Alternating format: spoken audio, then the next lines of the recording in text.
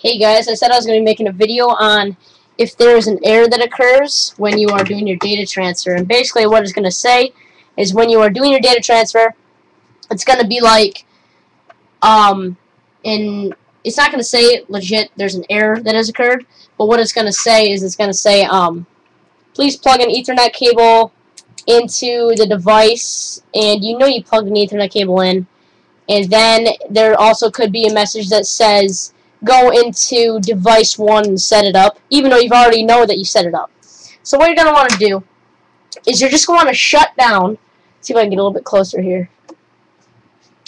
Okay, you're going to want to hold, you just shut down the PS3, okay?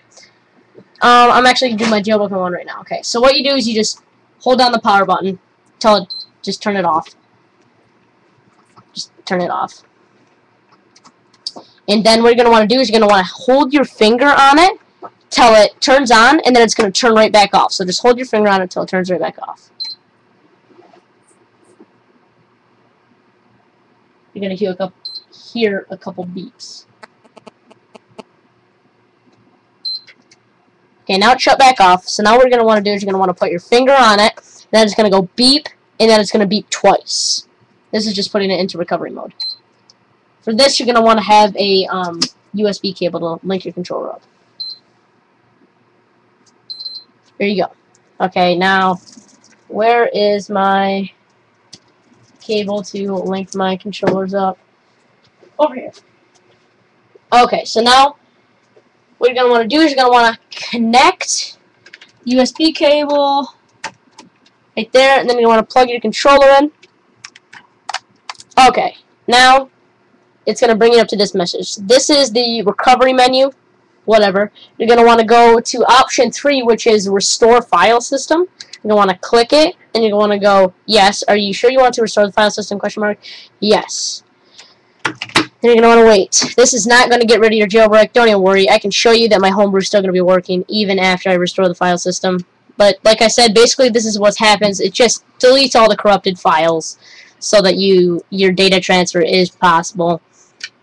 Yes, just click yes if you're doing, oh wait, you need to relink your controller. Yes. Then you're going to hit yes.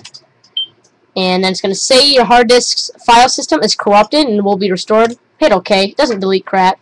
It's just restoring it, getting rid of the corrupted files. Shouldn't take long at all. And it is already done. Then it's going to reboot it's not going to like turn off your PS3 and turn it back on. It's going to go back to the home screen.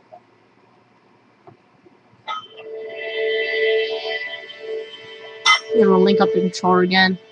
And then, as you can see, it is still, I can show you, still on 3.55.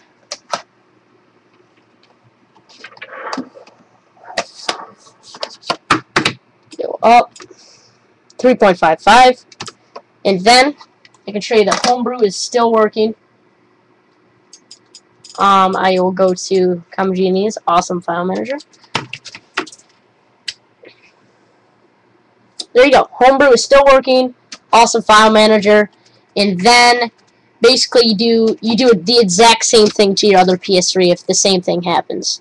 So, well, no, you're if you get that error, you're gonna want to do it on both PS3s. So you just want to hold the power button down for you want to do exactly what you did on this PS3 to that PS3 and just follow the steps. And it's not, it's, the only thing it's going to erase is your corrupted files so that you will be able to data transfer. And after that, if that doesn't work, personal message me and there may be something else wrong, but I highly doubt it.